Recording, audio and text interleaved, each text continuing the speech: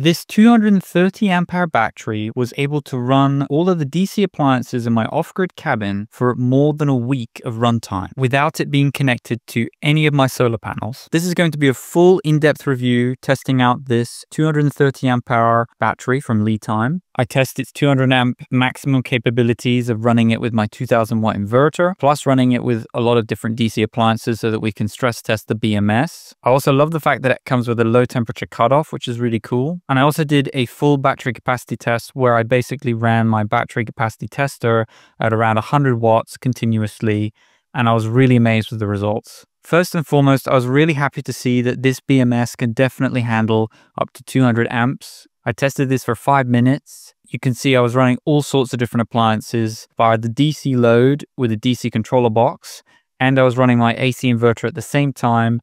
I was running it at absolute maximum. It was actually really difficult to get my inverter to run absolute maximum whilst running my induction stove. And you can see it was running everything just fine, which was amazing. So I ran this test for five minutes at around 200 amps and the battery had no issues with running at 200 amps. I think for most average people, running a 2000 watt inverter plus a lot of DC appliances at the same time at absolute maximum, it's actually really difficult to even reach the maximum of the BMS, which is really cool. I also had a brief spike up to 215 amps. The BMS had no issues with doing this either. Another test I did is I basically ran this 12 volt, 230 amp hour battery connected to all of my DC appliances. So that's my computer, my fridge, my lights.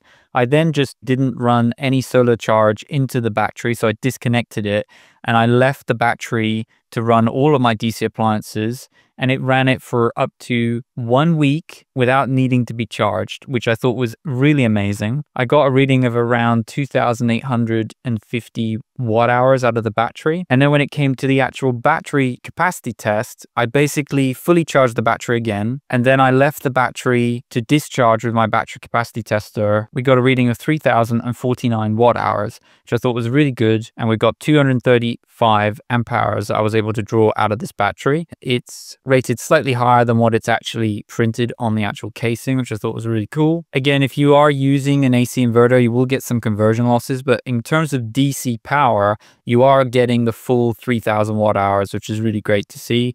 I did that test at around 100 watts continuously.